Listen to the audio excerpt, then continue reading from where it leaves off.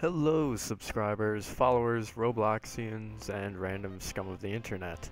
Uh, this is Zolarketh, and I'm going to be giving you a little sneak peek on my new game, currently called Solar Sim. It's a solar system simulator, which is used to basically simulate the formation of an entire solar system, as you could probably guess.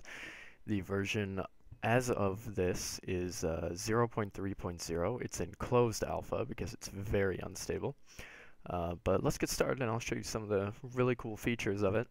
Uh, currently the menu is uh, completely placeholder. Um, it's by in no way finished. Uh, currently we have uh, plans for a save system set up, but there clearly is no system currently in place to save the games. Uh, there will of course be a loading system go along with that, and I plan on having an in-game awards system and some options that you can change around to, to play with and make every game a little different. So let's just uh, go ahead and select a save file here. You'll see this uh, configuration screen pop up, and this is currently the core of the game because uh, the game is a simulation. There's not too much that is user driven, it's more of an observation.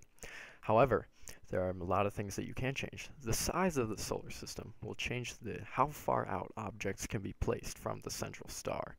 Generally, I like to do large or huge. Uh, for these purposes, to speed things up a little, we'll, go, we'll stick around with average. Density of objects is going to give you just how many objects are actually going to be in your game. Uh, it can range anywhere from the low hundreds up to the thousands of objects. Um, so we're going to go with a medium density for the purposes of this simulation. Temperature uh, allows different uh, temperatures for your star. Uh, it will change how hot all of the objects in orbit are. So we're going to go ahead and set that to cool. Uh, the events in the game, currently there is only one event, and that is uh, an object entering from outside the solar system. So we're going to go ahead and set that frequent. It's kind of cool when that happens, and I'll show you how that works. So we'll begin here. You'll see a, a very nice little solar system form. It's just a swirling mass of debris around a central star. We're already going to see collisions happening. Those are pretty quickly, pretty quickly going to escalate. And this is how, you know, a lot of systems are formed. Of course, this simulation isn't as uh, isn't as robust. I can't simulate gas clouds yet or anything among that. However, as far as rocky worlds go, it goes does pretty well you can see in this little informational menu, as I click on the minor planet, uh, all its information comes up. I can track it and watch it as long as I want. You can see the heavy metals, the age of the object, its temperature, radius, basically everything that makes the object that object. You'll see that a lot of objects will start to form where there's a lot of activity, which is generally around the center of the star. Looks like we got our big boy over here. I'm to go ahead and name him big red one. So this guy's a good candidate for a planet because he's gaining a lot of mass. You can see there are quite a few collisions going on. Uh, there's a nice uh, message system in the lower left-hand corner. And what's basically winds up happening is you have you have it informing you of everything that goes on in your solar system, from collisions to uh, status updates for different planets. Let's see. You can click on it and you can track that object. This one, as you can see, is a planet. It's developed uh, some volcanic activity. Uh, you can see when objects collide, and you can see the outcome of that. So it's a neat little system. Uh, currently, there's not too much to it. I do have a time warp feature, which which speeds up the simulation uh, quite quite dramatically, really. Um, which does help a lot. I mean, you're not going to want to sit around and watch this thing all the time. I know that I have definitely gotten bored of it over time. Uh, it's a very, very cool, very unique system.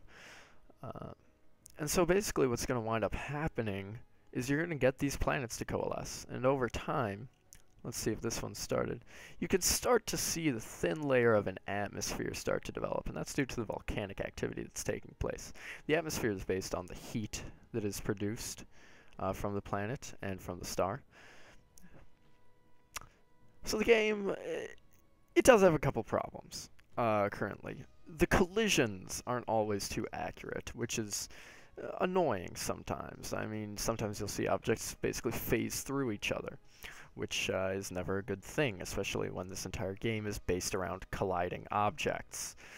Um, the other problem that you're going to see is that this, you're going to almost exclusively see, especially in smaller systems, one very large hot planet dominating the solar system and basically eating up everything in the inner ring, which makes it really difficult for habitable planets like this to form.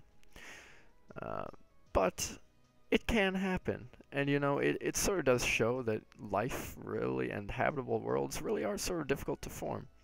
And it is accurate, but we want to make sure that the game has a playability value that's not always just the exact same thing. And so, with the random events that can occur, there are going to be things like orbits destabilizing, uh, planets maybe even breaking up, and sometimes even leaving the solar system forever, becoming rogue planets. I'm not entirely sure yet, but it's very exciting, and I'm really looking forward to how it's going to turn out. Currently, there's not much functionality that the player can do. Uh, and that's one of the things that I'm really going to be looking into on this, is what can the player do to influence it. And so what I've decided is to make two game modes. There's going to be the simulation, and there's going to be the sandbox.